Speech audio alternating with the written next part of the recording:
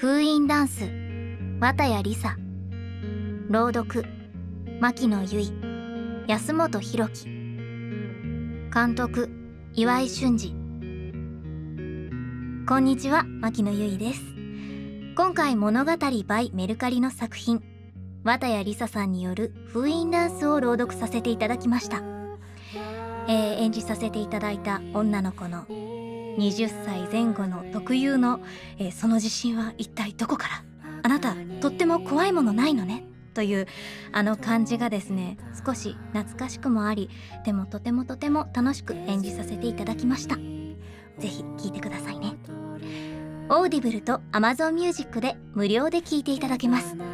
ぜひ声の物語もお楽しみください。